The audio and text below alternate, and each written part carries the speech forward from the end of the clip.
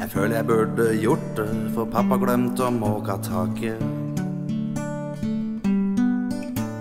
Det burde gå fort, så jeg klatrer opp med en spade. Men før jeg rekker å ta et tak, høres det et digert brak, og jeg faller som englene ned. Nå ligger jeg i en haug av sne.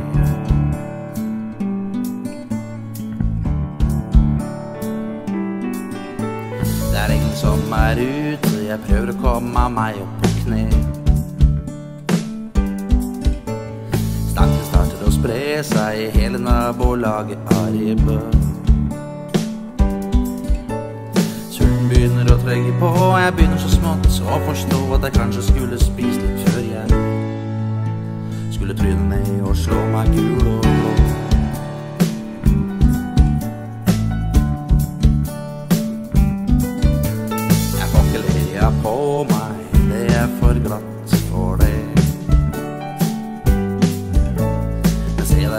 Bakken, der kommer fru Johnsen nakne. Fru Johnsen, kan du stoppe og hjelpe meg litt? Jeg sitter bom fast her nede. Og hvis jeg ikke kommer inn snart, blir mor sur, for det er min tur til å hjelpe til med å steike ribbe. Men fru Johnsen bare suser av sted.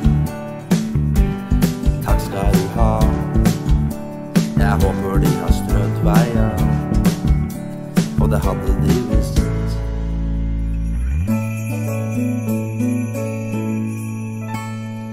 Men så høres fotskritt som kommer nærmere. Og der kommer onkel som må lede han får se. Jeg ligger der og kava med snø opp til øra. Rød som en hummer på nese og kinn. Han løfter meg opp med et vennlig smil. Humrer, er ikke bedre om vi går inn? Å jo, det er det.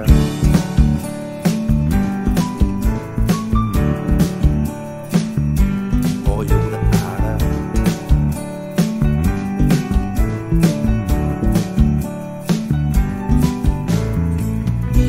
Men i trappa står ei mor, i hånda har jeg en bolle med svor. Hun ser på meg og spør, hvorfor har du vært ute og leika nå? Var det ikke du som skulle hjelpe meg? Tror hun nissen kommer til deg? Jeg svarer spak. Jeg måtte ut, for pappa hadde glemt å måke tak. Så ja, hvor skulle nissen ha landa hen da? Hvor skulle nissen landa hen da? Skulle han ha havna på trynet der jeg havna? Hadde jeg fått gaver da?